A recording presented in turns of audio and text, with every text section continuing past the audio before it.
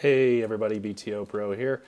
Today I'm going to show you a real quick element I threw together um, to wrap an external JavaScript library. So uh, this element is called EXIF data and it's leveraging a library I found called EXIF.js.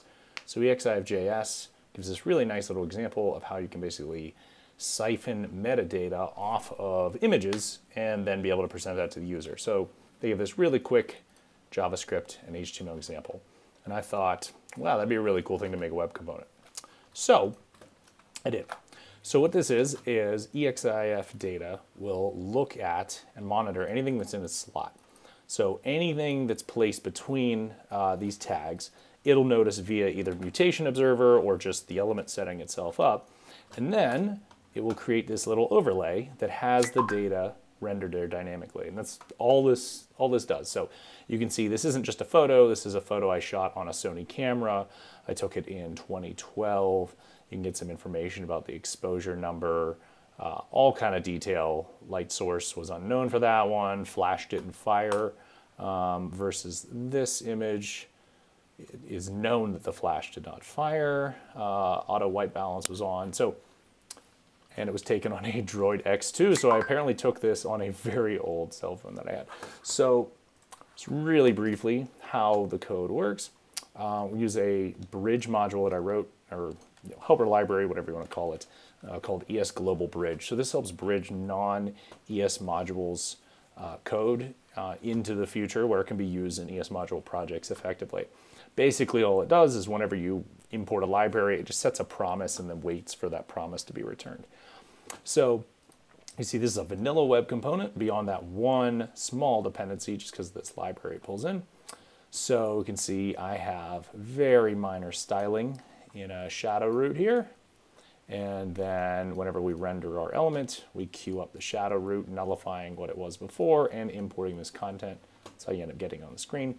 The important part going on is this ES Global Bridge request availability which is going to then attempt to load this exif-js.js file.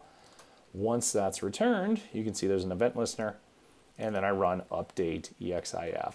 Uh, we also set an event listener or click listener on the whole object.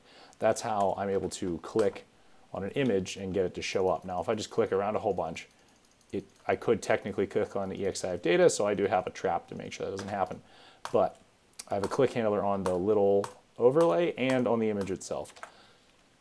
So what that looks like is whenever you click on the image, it's going to say, okay, well, let's just make sure what was clicked was an image. And then it's going to loop through all of the known images as far as their node data. So it assembles as ahead of time, uh, which is why it's so fast. Then it's going to loop through the keys, build out that ordered list, and then it's going to insert it into that area.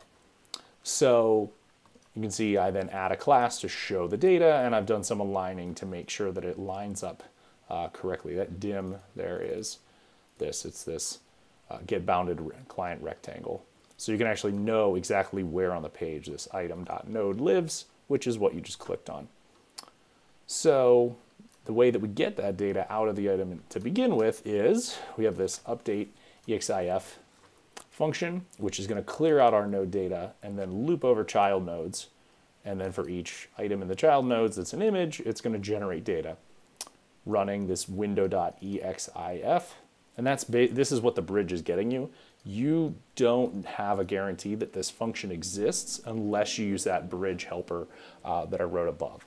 And so that basically just makes sure that timing wise, you're not going to get a window.exif undefined type of an, an issue. So you can see then I have a click handler on the data element, which is querying the shadow root. So this is a really nice little separation of concerns here. Um, all right, so up in the shadow root, you can see I just have a basic UL that then needs populated with information, and I can apply styles directly to that UL. However, I'm monitoring this dot node data, um, or sorry, not node data, it's uh, child nodes, child nodes. Child, there it is. Um, and child, this uh, child nodes is going to give me that light DOM information, the information that is sitting here on the page. It's going to give me this while allowing me to apply my additional functionality on top. So all I want to show. This will be published to NPM shortly, and I'll add a link in the notes.